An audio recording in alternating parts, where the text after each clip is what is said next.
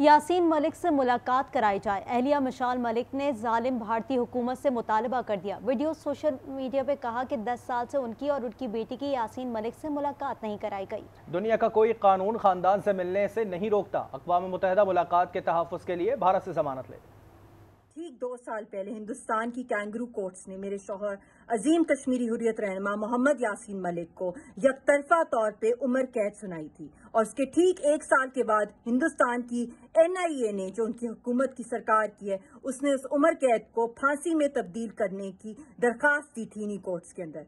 मैं आज दुनिया से भी अपील करती हूँ और हिंदुस्तान की सरकार को भी कहना चाहती हूँ कि दुनिया का कोई कानून नहीं रोक सकता एक फैमिली को मिलने के लिए। दस साल हो गए हम बिछड़े हुए। हम तरस रहे हैं उनको देखने के लिए, उनकी एक निगाह के लिए, उनकी आवाज़ सुनने के लिए। गारंटी दी जाए, खासतौर पर यूनाइटेड नेशन हिंदुस्तान से गारंटी ले रिटर्न गारंटी हमें चाहिए कि हमें सेफ़ एंट्री और सेफ़ एग्जिट दिया जाएगा और उनसे मुलाकात की जो है हमें इजाज़त दी जाएगी।